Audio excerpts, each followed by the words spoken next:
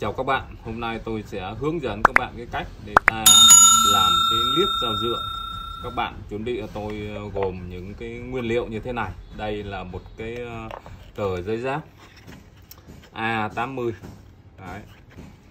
Và đây là một cái ống nhựa phi ờ, 34 là ta làm cái liếc là vừa. Thì như cái ống nhựa này thì ta làm mà ta dán cái cái, cái dây dép tầm khoảng đinh đây tầm ờ, 20 phân đấy là vừa ta đo đến đây. Đây tầm đến đây. Sau ta sẽ cắt nữa ra.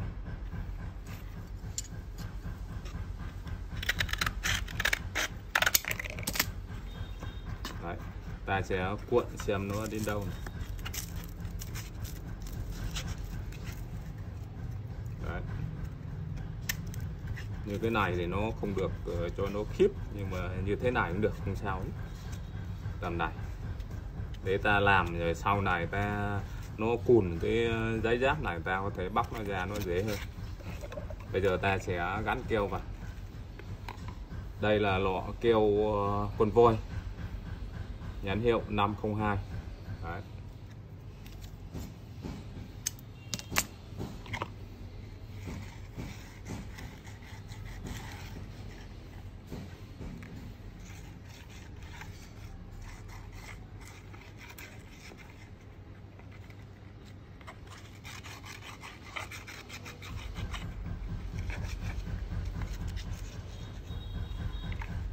Ta sẽ cuộn nó vào đây. Đây, như thế này là ta đã gắn xong cái liếc dao Đấy. như cái mặt trên này nó hở tí, không quan trọng. Sau này ta ờ, dùng cùn cái cái cái mảnh giấy giáp này, ta sẽ bóc nó ra được. Đấy. đây đây là một con dao rựa nó cũng rất chỉ là cùn. Đây đấy. Khi ta cắt, ta chĩa vào tay như thế này cũng đứt chính tỏ là nó rất chìa cùn. Bây giờ ta sẽ liếc cái này nha.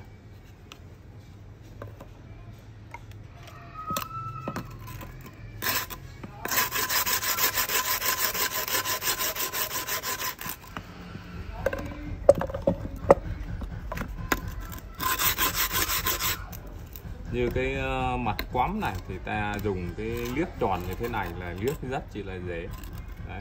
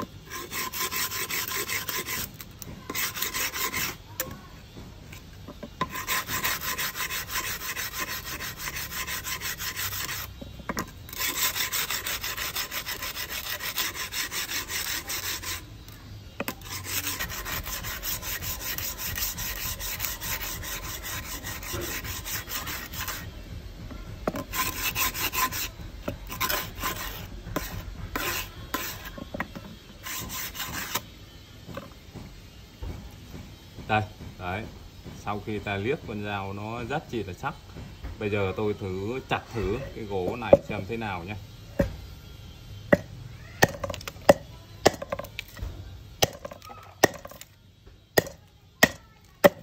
Rất sắc.